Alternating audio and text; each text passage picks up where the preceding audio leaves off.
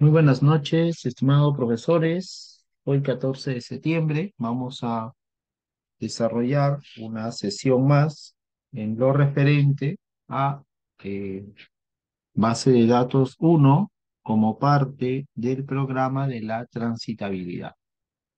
El día de hoy vamos a hablar eh, específicamente de un motor de base de datos relacional llamado MySQL, ¿no? Conocido también como MySQL Server, ¿ok? Eh, dentro de esto, pues es importante comentar que MySQL es uno de los motores de base de datos eh, más utilizado en el mundo, ¿no? Es uno de ellos, ¿no? El ranking de base de datos más utilizados a nivel mundial, el ranking lo ocupan tres motores. Uno de ellos es Oracle Database, otro de ellos es Microsoft SQL Server, otro de ellos es MySQL o MySQL o MySQL como le llaman algunos, y otro motor de base de datos relacional también muy utilizado es Postgres SQL, ¿no? En esencia, los motores de base de datos relacional, pues tienen como lenguaje de programación transversal el lenguaje SQL. Hablaremos un poquito más en el desarrollo de esta sesión. Otro dato importante de MySQL es que empezó siendo de código abierto, es decir, empezó siendo software libre. Y pues bueno, lo fue hasta la versión 5.4, 5.7 aproximadamente. Luego, Microsoft o Sun Microsystem compró a MySQL, ¿no? Y luego en el 2010, Oracle compró a Microsystem, por tanto, incluye a MySQL. En la actualidad, Oracle Corporation también es el dueño de MySQL. Es decir, MySQL dejó de ser libre, dejó de ser de código abierto. Los fundadores de MySQL, ¿no? Pues que siempre pensaban en que exista un motor de base de datos relacional de código abierto, pues al ya no tener MySQL como software libre, pues crearon lo que hoy conocemos como MariaDB. MariaDB tiene los fundamentos o las bases de MySQL, ¿no? MariaDB sí es open source, MariaDB es libre, ¿no? Está disponible para que lo pueda utilizar cualquier persona sin ningún pago adicional, ¿no? Es más, ¿no? También podrían personalizar, es decir, agregar nuevas funcionalidades a MariaDB, ¿no? Y pues es una cosa muy interesante, ¿no? Eh, en esta ocasión, pues nosotros vamos a hablar propiamente de MySQL como parte del entorno de desarrollo de base de datos. Perfecto. Eh, MySQL eh, utiliza el modelo cliente-servidor en el sentido que la estructura y los datos van a estar disponibles en un computador llamado servidor y los clientes o usuarios finales pues van a interactuar, van a gestionar esos datos del servidor desde sus equipos, ¿no? A través de aplicaciones, ¿no? Que pueden ser aplicaciones de escritorio, que pueden ser aplicaciones web y o incluso aplicaciones móviles. MySQL, que es un motor de base de datos relacional, utiliza como lenguaje o tiene como lenguaje de programación de base de datos SQL. SQL son las siglas de Structure Query Language, ¿no? O lenguaje estructurado de consultas. O lenguaje de consulta estructurado, ¿no? Traducido literalmente. Este lenguaje de programación de base de datos nos va a permitir definir, actualizar y consultar la base de datos. ¿Ok? Eh, vamos a iniciar instalando MySQL, pues hay diversas formas de hacerlo. Nosotros en esta sesión nos vamos a valer de SHAM, ¿no? que es el paquete eh, de desarrollo de aplicaciones que incluye a MySQL como parte del staff o como parte de las herramientas de desarrollo de aplicaciones. Veremos PHP ¿no? como interfaz o IDE para poder gestionar la base de datos ¿no? desde un entorno web. Veremos también MySQL Workbench ¿no? como IDE para poder gestionar la base de datos. Es allí donde vamos a escribir nuestras sentencias SQL. ¿ok? También existe en el mercado de Beaver Community que al igual que MySQL Workbench, es una IDE o es un programita que permite gestionar el motor de la base de datos. ¿Ok? Pues también podríamos utilizar para gestionar los datos de la base de datos, también podríamos utilizar Visual Code, ¿no? Hay diversas herramientas para poder gestionar el motor. En ese sentido, pues lo primero ¿no? que vamos a hacer es descargar Sham, ¿ok? Y luego, pues vamos a eh, activar los servicios de Sham. Yo para esta sesión ya tengo instalado también Sham. ¿no? Y desde su panel de trabajo ¿no? O el panel de control, pues vamos a activar lo que respecta a MySQL y bueno, vamos a activar a lo que respecta a Apache, ¿no? Dato importante, MySQL para poder comunicarse, ¿no? Con la aplicación necesita un puerto de conexión que es el puerto 3306. Es el puerto por default, ¿no? ¿Se puede personalizar con otro puerto? Sí, eso es cierto, pero el predeterminado, el sugerido por MySQL es el 3306. Bueno, en esta sesión vamos a apoyarnos con el profesor Máximo. Profesor Máximo nos comparte su pantalla para poder dar nuestros primeros pasos en lo que respecta a MySQL, por favor. Ya, profesor, un,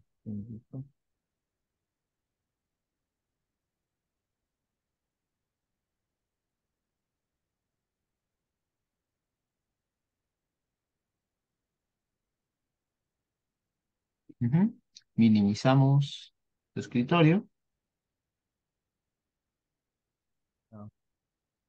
Ok, perfecto. Muy bien. Entonces, eh, me comentaba que usted ya tiene instalado Sham. Por favor, inicie Sham. Arriba también podría escribir en buscar aplicaciones SAM X A. Ahí está, perfecto. Muy bien.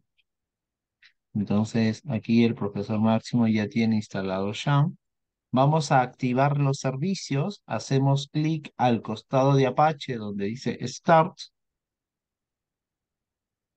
Ok. Y luego en MySQL también hacemos clic. Perfecto. Activamos el permitir acceso, ¿no? Para que tenga permiso de trabajar MySQL. Perfecto. Ya está. Muy bien, entonces hasta aquí ya se tiene instalado Sham, ¿no? Está disponible en la web. Es conveniente utilizar una versión estable, ¿ok?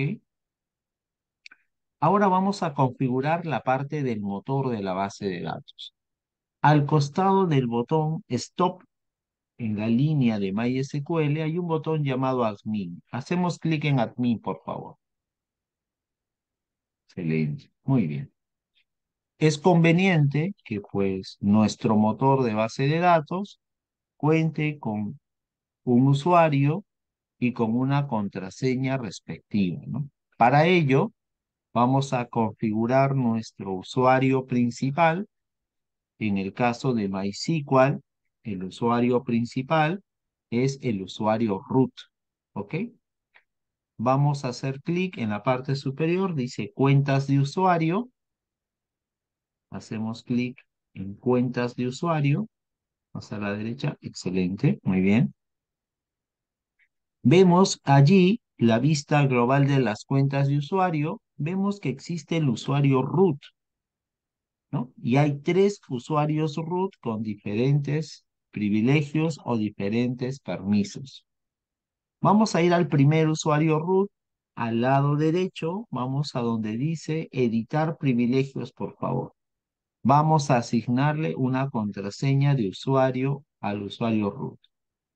Por allí hay un botón arribita que dice Change Password. En la parte superior, change password, literalmente, ajá, change password. Póngale allí una contraseña, ¿no? Para el ejemplo, ¿no? Una contraseña corta podría ser de repente admin.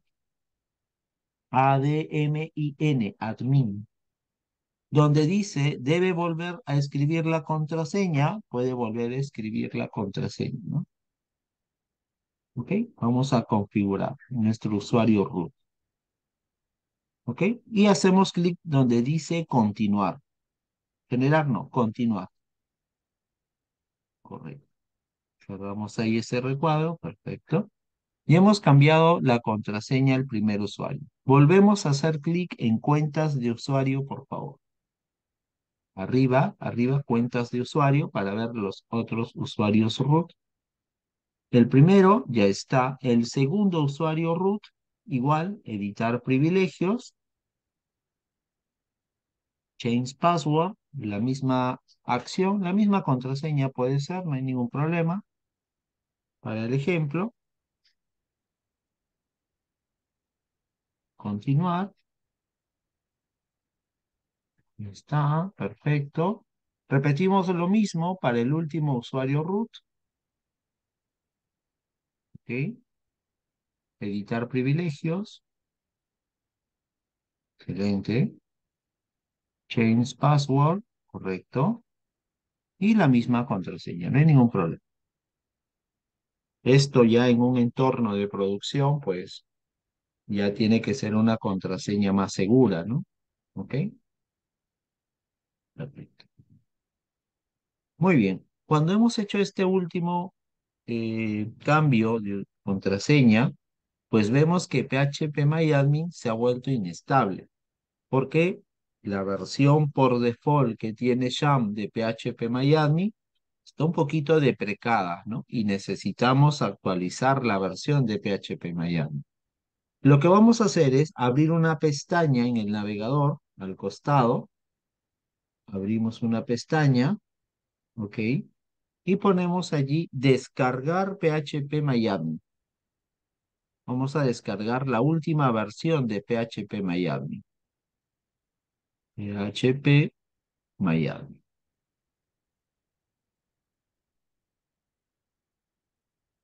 Ajá, ahí está. Excelente, muy bien. Hacemos clic en la primera opción, en el primer resultado de la búsqueda. Correcto. Hacemos clic donde dice Downloads 5.2.1, que es la versión estable. Clic allí. Ok, le damos simplemente aceptar al anuncio que aparece. O cerrar, close, close, close, perdón. Ahí, ajá, también. Y debe haber empezado a descargar. Arriba en su icono de descargas, hágale un clic. Ahí está descargando. Está terminando. Haga un clic abajo donde dice mostrar todas las descargas. Al lado derecho hay un icono. Ahí vamos a esperar que termine de descargar. No es muy pesado, son 14.4 megas. O vamos al explorador de Windows, también ya debe estar allí, probablemente. Ok, muy bien, explorador de archivos. Vamos a la carpeta Downloads. Y ahí está, ¿no? Hacemos clic derecho, vamos a desempaquetar SPHP le decimos abajo donde dice, a ver, extraer todo. Y simplemente eh, le decimos extraer. Va a crear una carpeta y ahí va a pasar todos los archivos que ha descargado. Extraer. Muy bien, está extrayendo todos los archivos.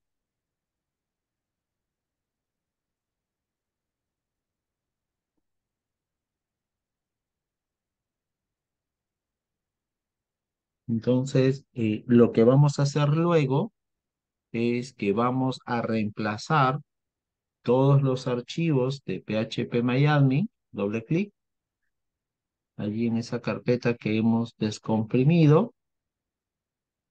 Ya tenemos al parecer todos los archivos.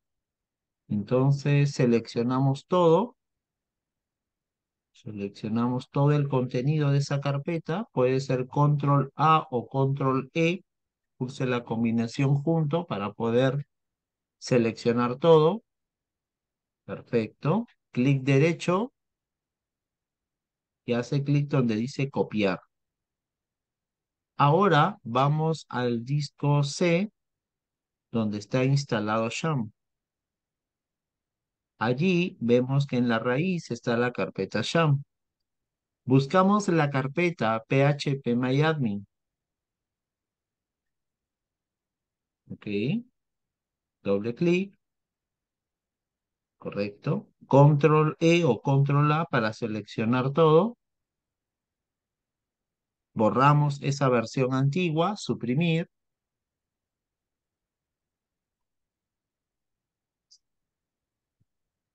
Estamos borrando, estamos deshaciéndonos de la versión antigua para luego poder empezar a copiar nuestra nueva versión. La que hemos seleccionado, la que hemos copiado.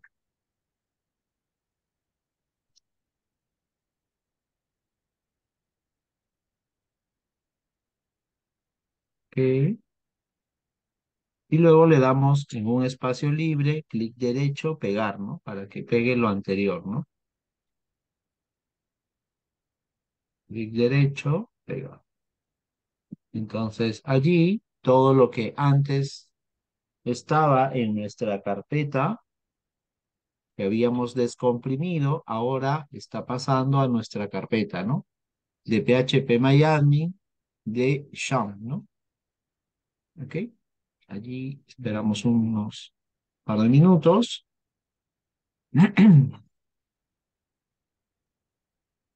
Perfecto, listo. En lo que eso va, eh, va copiando, volvemos al navegador, por favor. ¿Ok? En el navegador, ojo que nosotros allí estamos, eh, nosotros estamos allí, este, instalando el motor de la base de datos, ¿no? Bueno, ya está el motor, estamos configurando phpMyAdmin, que nos va a permitir acceder al motor de la base de datos. Abrimos una nueva pestaña y vamos a descargar ahora el IDE que vamos a utilizar para gestionar nuestra base de datos. la IDE o el IDE que vamos a utilizar, le voy a pasar aquí el enlace por el chat, es MySQL Workbench. Allí le estoy pasando el enlace para que usted lo pueda copiar y lo pueda pegar en su barrita de dirección. Ok, pulsamos Enter. Esa es la ruta para descargar PHP Maya. Enter, le pulso. Ok. Vamos un poquito más abajo. Es un aplicativo bastante ligero, pesa 46 megas. Hacemos clic en el botón Download, ¿no? O descargar, ¿no? Así es. Estamos allí descargando. Abajo dice no, gracias, not some use start my download. Ajá, en ese texto azul hacemos clic. No, no, no, no, no, abajo. En la palabrita que dice no gracias en inglés. Ahí está, correcto. No, no gracias, ¿será? No, atrás, por favor. Ya. Eh, allí, clic. No, la, la primera. Ahí está, ya está descargado. Ahí está descargando el instalador. Veamos si ya terminó de copiar los archivos del PHP Miami, por favor. En la carpeta YAM, en el explorador de Windows.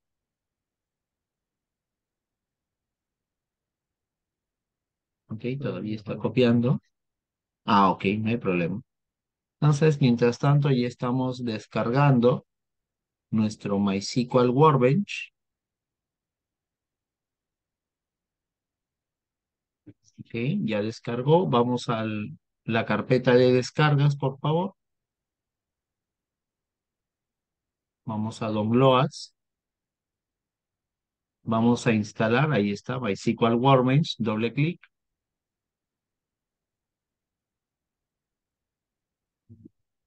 Le damos siguiente, next. Next. Le damos siguiente nada más. Ok, instalar.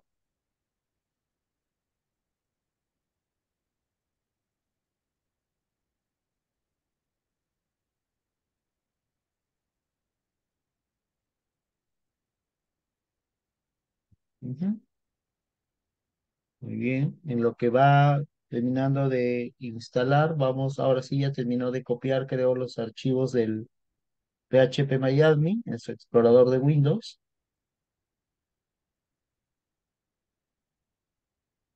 Este, digo, sí.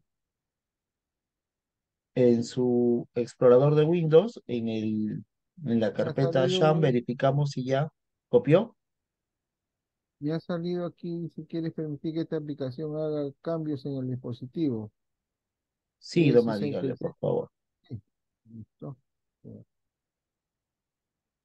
Sí, ya está. Perfecto. Muy bien, ya también se terminó de copiarlo de PHP MyAdmin. Vamos al navegador donde teníamos PHP MyAdmin, ¿se acuerda? Vamos al navegador.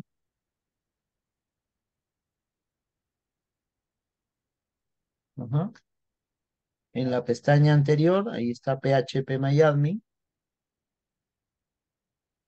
Esa de allí, ciérrela porque es de donde hemos descargado. Ya lo podemos cerrar. Vamos a la pestaña anterior. Perfecto. Hacemos clic en actualizar o pulsamos la tecla F5. Ok, actualizamos. Y ahora nos pide un usuario. El usuario por defecto es el usuario root. Es una R y doble O y una T, root. Y la contraseña que le hemos puesto es admin. Le decimos iniciar. Y ya tenemos acceso, ¿no? Le da escape nada más. ¿Ok? Sí, le da escape o aceptar, no hay problema. Muy bien, entonces ya tenemos actualizado nuestro PHP MyAdmin. Ya tenemos configurado nuestro usuario root para acceder al motor de la base de datos. Por otro lado, abajo ya está el icono de MySQL Workbench que ha terminado de instalar, me parece. El icono celeste al final. Ajá. Dice que ya terminó, finish, y va a abrir automáticamente MySQL Workbench. Ojo que sí es importante cada vez que vaya a trabajar en el motor de la base de datos, si es conveniente iniciar los servicios de MySQL, si no, no va a funcionar. Maximizamos MySQL Workbench. Perfecto. Entonces, hay que tener algo muy presente aquí, ¿ya? Y es que uno es el motor de la base de datos, que es MySQL, Y por otro lado tenemos a Workbench.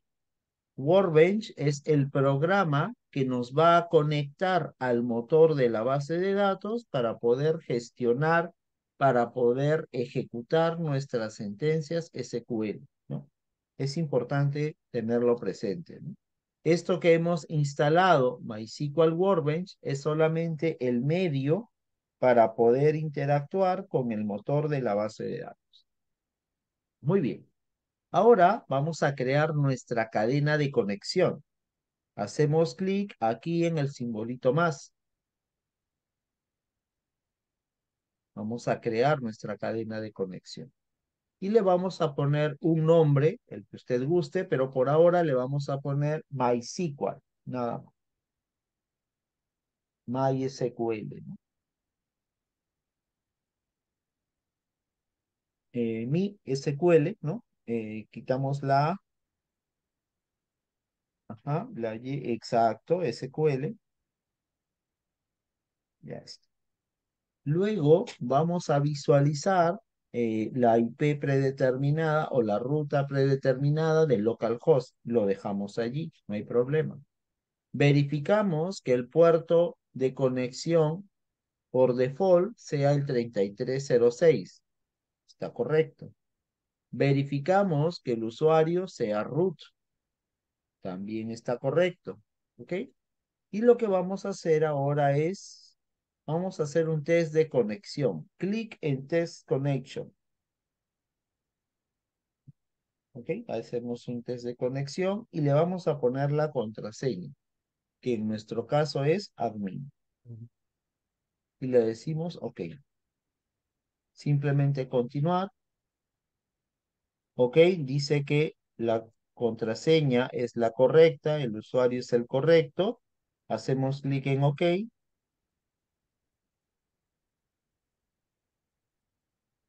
Y luego hacemos clic otra vez en OK, ¿no? Y nos conectamos. Ahora, usted visualizará que se ha creado un cart o una cadena de conexión. ¿Correcto? Entonces, hacemos doble clic en esta cadena de conexión, por favor. ¿Ok? Continuar. Y ya tenemos acceso a MySQL. Vamos a donde dice esquemas. Clic en la pestaña o en la ficha esquemas, acá. Aquí lo estoy señalando con rojo. Ok, ahí nada más. Entonces, ya hemos instalado MySQL y tiene como base de datos predeterminada la de PHP y una base de datos de prueba llamado test. ¿Correcto? Ya hemos accedido. Allí es donde se verifica que estoy conectado al motor de la base de datos. Si yo ya terminé de trabajar con mi motor de base de datos, pues lo que puedo hacer es cerrar. Para cerrar esto, primero cierro la pestaña. Cierro la pestaña. Ok. Cierro el aplicativo de MySQL Workbench. Correcto. Y luego, bueno, minimiza más por ahora esto. Y luego lo que voy a hacer es, vamos a cerrar los servicios. Vamos a Sham. Aquí abajo está Sham, ok. Y le damos a parar los servicios. Paramos los servicios. Si los servicios están parados, no va a funcionar nada. Por ejemplo, haga clic en, la, en el botón Windows y acceda a MySQL Workbench. Le puede escribir ahí mi SQL. Ahí está, ya apareció. Mi SQL, ¿no? Mi S, falta la S. No, no, no, no, no. Arriba, es que tiene que ejecutar el programa. Eso lo que va a Ah, hacer es buscar en internet, ¿no? Allí también escriba MySQL. Ajá. No, es M-I-S. Antes de la Q hay que poner la S y ahí aparece, ¿no? El primer programita, ahí está. ¿no? MySQL Workbench. Abrimos allí, hacemos clic. Vamos a intentar conectarnos. Hacemos clic donde dice MySQL. Clic allí. No, no, no, no. En el card que ya, nos, ya hemos creado, ¿no? Ese no. Podemos utilizar la cadena de conexión anterior. Clic allí. y va a ver que ahora dice en rojo no se ha establecido la conexión. ¿No? Dice no tenemos acceso. ¿Y eso por qué ha pasado? Cancelar, don Adelio. Cancelar. ¿Ok? Ok, nada más.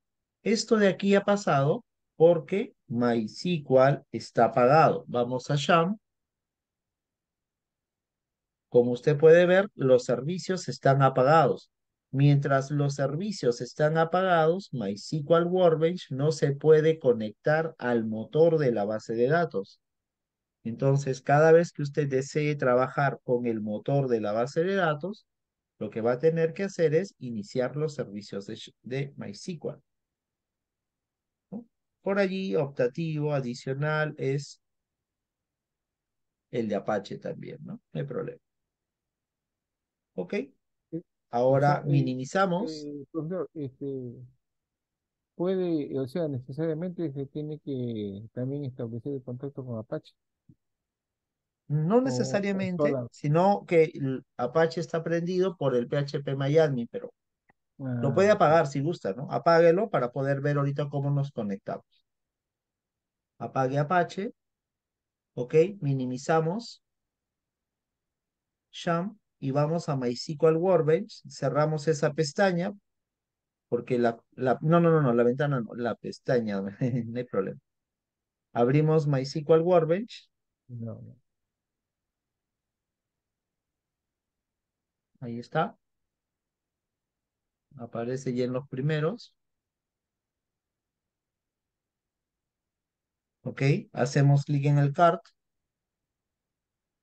Hacemos clic en continuar y verá que ahora accedemos sin ningún problema, porque nuestro motor de base de datos está encendido los servicios. No sé si hasta aquí vamos bien, profesor Máximo, o tiene alguna pregunta, consulta.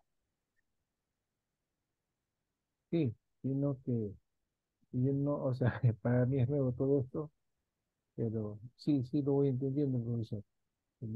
Perfecto no hay problema. La sesión de hoy día, ¿no? Básicamente nos estamos enfocando en instalar, en configurar y en iniciar los servicios, ¿no? Entonces, cada vez que usted quiera trabajar, primero tiene que activar los servicios de SHA y luego recién ejecutar MySQL Workbench. Y cuando ya no va a trabajar, cierra MySQL Workbench y cierra la conexión cierra los servicios o detiene los servicios del motor. ¿Correcto? ¿Ok?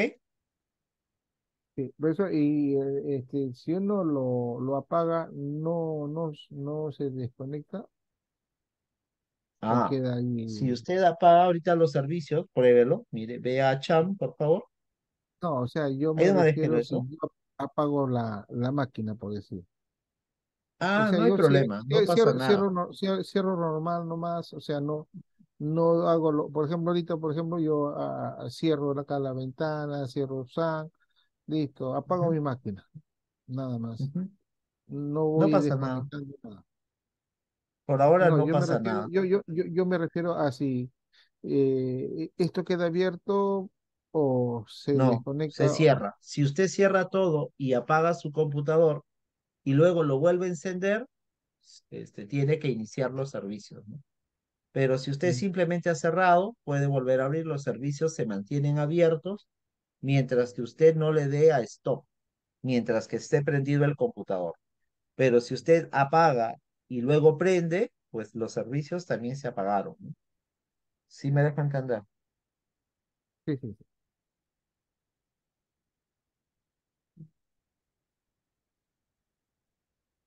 ¿Sí? ¿Se pudo entender? Sí, sí, profesor. Sí, sí, sí, está bien. Muy bien. Entonces vamos a hacer un reconocimiento de este entorno. ¿Ok? Punto uno, aquí usted, en este lado, va a tener el acceso a los paneles, ¿no? Verá que hay tres botones, ¿no? De color azul. Haga clic en el primero. Si usted hace clic en el primero, desaparece el panel de esquemas. ¿no? Aquí estaba el panel de esquemas. Usted lo puede activar o desactivar haciendo clic ahí. Si usted hace clic en el segundo, en el del medio, desactiva el panel de resultados. Si usted hace clic en el tercero, desactiva el panel de administración. Nos vamos a quedar de manera predeterminada con el panel de esquemas y con el panel del medio. El último lo desactivamos. El primer panel también hay que activar, el panel de esquemas. El primero, ajá. Con esos paneles nos vamos a quedar. ¿Qué es lo que sucede aquí? En este panel llamado esquemas, se van a mostrar, se van a visualizar las bases de datos que tengo implementadas en el motor de MySQL. Por ahora, por default, está puesto PHP MyAdmin y está puesto de manera predeterminada test. Aquí están las bases de datos que se han creado. ¿Ok? Por otro lado, en la parte eh, del medio del área de trabajo hay un botón, hay una barra de botones. ¿Ok? En esta barra de botones, ¿no? todo lo que nosotros vayamos a escribir acá son sentencias SQL. Si yo quiero grabar el código SQL que he creado, utilizaré el botón del disquete, grabar. Los archivos se guardan con una extensión .sql. A eso se le llama el script de la base de datos. ¿Correcto? ¿Ok? Si yo ya tengo un script hecho, pues le doy clic aquí a la carpetita para abrir un archivo existente o un script existente de base de datos. El rayito me permite ejecutar. Quiere decir que si yo escribo un par de sentencias de MySQL, pues con este rayito puedo ejecutar esas sentencias. Si yo hago clic en el segundo botón, pues lo que va a hacer es ejecutar todas las sentencias que se encuentran en el contenido de MySQL Workbench. ¿Ok? Por ahora esos botones para no marear. Vamos a empezar. Vamos a crear nuestra primera base de datos. Aquí hacemos clic y escribimos create. Literalmente, create espacio database, literalmente, ajá, database, ok, espacio, y le vamos a poner un nombre, db prueba, por ejemplo. Siempre se acostumbra a ponerle el prefijo db porque es un database, una base de datos, y luego el nombre, db prueba. Luego, cada vez que usted cree sentencias SQL, todas las sentencias terminan en un punto y coma. Le pone punto y coma. ¿Ok? Ahora seleccione toda esa línea, la línea 1. Verán que las líneas de código también están enumeradas. Y para ejecutar, haga clic en el primer rayito. ¿Ok? Clic allí verá que en la parte inferior está el panel de resultados y verá que aquí hay un icono de color verde. Si el icono es verde, quiere decir que lo que hemos escrito y hemos ejecutado está bien. Y acá me dice cuándo ha hecho la acción y qué acción ha realizado. Y es más, cuánto tiempo le ha tomado. Entonces, ya hemos creado una base de datos. Pero vemos que aquí en el panel todavía no figura. Entonces, lo que vamos a hacer es clic en este botón, que es un refresh. Va a refrescar el esquema. Y verá que ahora sí ya existe DBPRED. ¿Correcto? ¿Ok? A ver, ahora usted ubíquese al final y pulse dos Enter. Al final de DB prueba, ubíquese al final y pulse dos Enter. Ya está. Verá que aparece un indicador de línea. Ahora dice 1, 2 y 3, ¿no? El número de línea. Ahora usted crear, por favor, una base de datos llamada ventas. A ver. Create. Espacio. Database. Llamado ventas.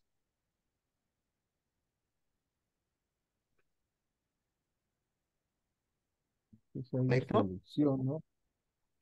Selecciono, ¿no? Así es. Y, Y ejecute el rayito. ahí- Perfecto. Ya se ha creado. ¿Dónde actualizamos? Clic allí y ya tenemos. ¿Correcto? Ya hemos creado nuestras dos primeras bases de datos. ¿Ok? ¿Cierto? ¿Vamos bien hasta allí? Perfecto. Muy bien. Así como hemos creado una base de datos, cada vez que nosotros, ojo acá, mire, nosotros tenemos aquí dos, cuatro bases de datos que hemos creado. Cuando yo empiece a programar mi base de datos, no voy a programar en todas, tengo que programar en una de ellas. Entonces, para programar en una base de datos, pues toca poner en uso la base de datos. Vamos a crear líneas de comentario. Hacemos clic aquí al inicio de la primera línea y pulsamos un Enter. Hacemos clic arriba y vamos a hacer lo siguiente. Presione la tecla de división o la tecla slash y luego el asterisco. La tecla de división o slash y un asterisco. No, borre el segundo, slash. Tiene que quedar ese y un asterisco y otra vez un asterisco y otro slash, por favor. Perfecto. Lo que hace el asterisco, perdón, el slash asterisco, asterisco slash, lo que hace es crea una línea de comentario. Retroceda, por favor, y ubique el cursor entre los dos asteriscos. Y escriba crear una base de datos. Va a ser nuestra línea de comentario. Crear una base de datos. ¿Ok? Esa línea no se va a ejecutar, es una línea de comentario. ¿Correcto? ¿Ok? Entonces, hemos creado una línea de comentario y hemos creado dos bases de datos. Hacemos clic al final de la línea 4. Hacemos clic al final de la línea 4 y pulsamos dos Enter. A ver, crear un comentario que diga poner en uso la base de datos. Crear un comentario con el texto o el mensaje. Crear, poner en uso una base de datos. Ajá. Poner en uso una base de datos.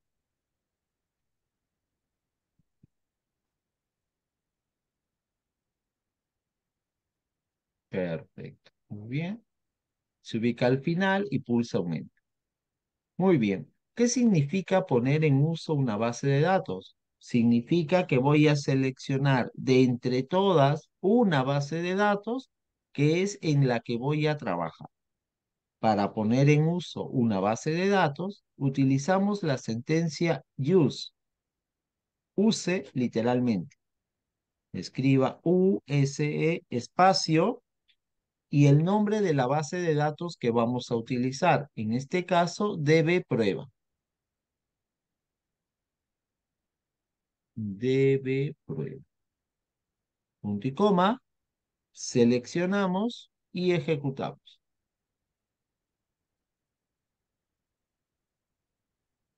El rayito y ya está. verá que ahora dos cosas importantes. Uno, salió el check en verdecito, quiere decir que hemos hecho bien las cosas. Y dos, en el panel de esquemas se ha puesto en negritas debe prueba. Y además ha desplegado los posibles objetos que puede tener nuestra base de datos. Hablamos de tablas, vistas, procedimientos almacenados y o funciones. ¿Correcto? ¿Ok? Muy bien. A ver, pulsamos un par de enters y usted ponga en uso la base de datos ventas. ¿Cómo pongo en uso la base de datos ventas?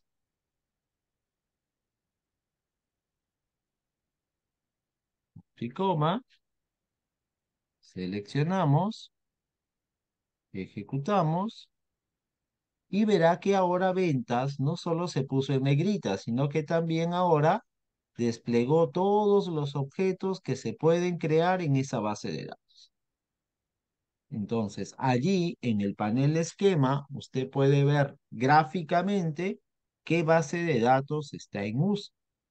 Si no tuviéramos esa parte gráfica, lo que podríamos hacer también es lo siguiente. Pulse dos Enter, por favor. Dos Enter. Y en líneas de comentario coloque eh, visualizar qué base de datos está en uso. Como comentario, póngale visualizar qué base de datos está en uso.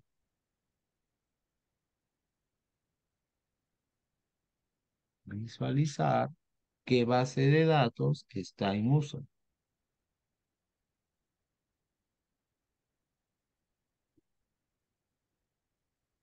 Buenas noches, buenas En uso, ¿no? Está en uso, así es. Nos vamos al final y pulsamos dos enter o un enter nada más. Y ahora escribimos lo siguiente, select, de selección, pero select termina en T. Así es, espacio, database, y, y abre y cierra paréntesis, tal como lo menciona allí esa etiqueta, ¿no? Abre y cierra paréntesis. ¿O lo puedo hacer así también ahí? Sí, también, claro, doble clic. Ya está. Punto y coma. Seleccione esa línea y ejecute.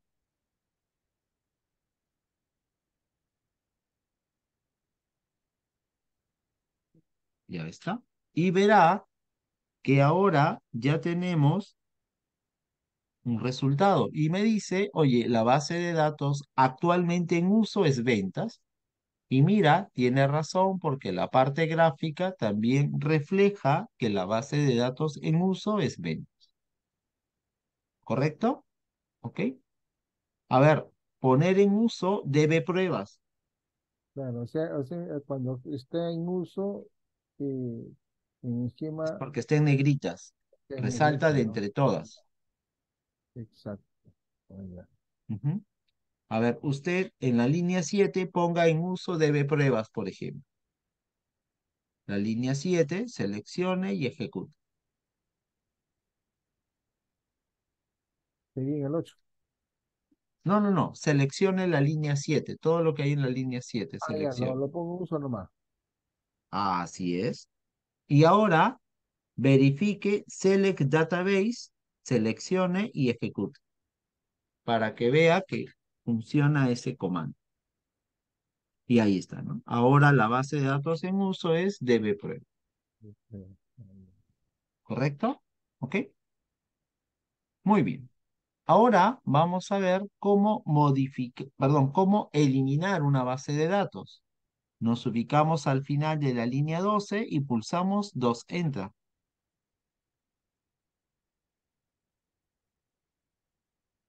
Control Z, porque se le ha borrado. Control Z. Ahora sí, Enter. Otro Enter. Y le pone como línea de comentario, eliminar una base de datos. Eliminar una base de datos.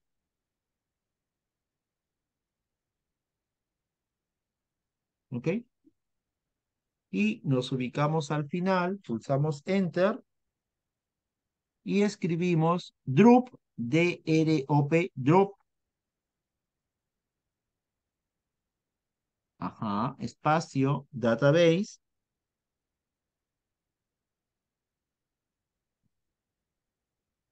Espacio, y vamos a borrar ventas, por ejemplo. Vamos a borrar ventas. Ya está. Seleccionamos. Ejecutamos. Ahora veamos el panel de esquemas y miren, ya no está ventas porque lo hemos eliminado. A ver usted, abajo, ubíquese al final, pulse 2 Enter, elimine la base de datos de Bprueba.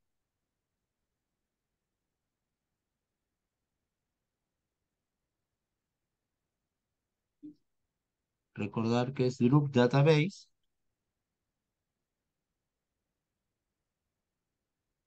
Prueba.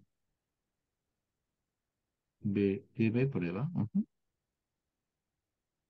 Y coma y selecciona y ejecuta eso.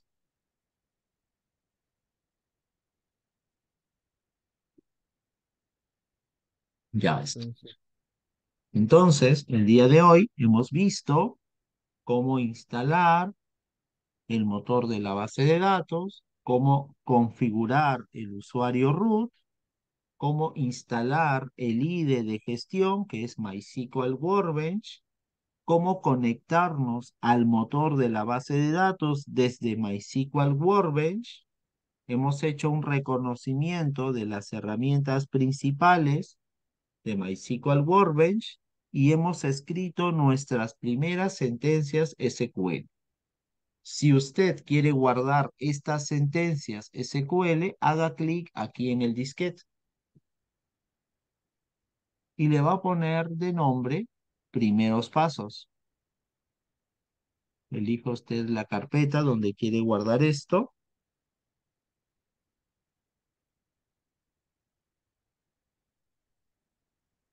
Ok, crea usted ahí una carpeta donde lo quiera guardar.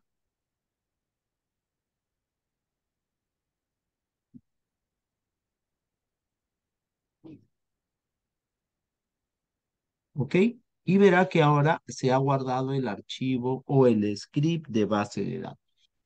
¿Correcto? ¿Ok? Si usted gusta, cierre la pestañita de acá. ¿Ok? Y ya de cuenta que ha cerrado el archivo de consulta. Si usted quisiera recuperar o abrir el archivo, porque es lo que vamos a trabajar en la siguiente clase, hace clic aquí, en el botón abrir. Clic allí, busca su archivo, ahí está, primeros pasos.sql. Hacemos clic en abrir y ahí está. Y por ejemplo, seleccione la línea 2 y ejecútela.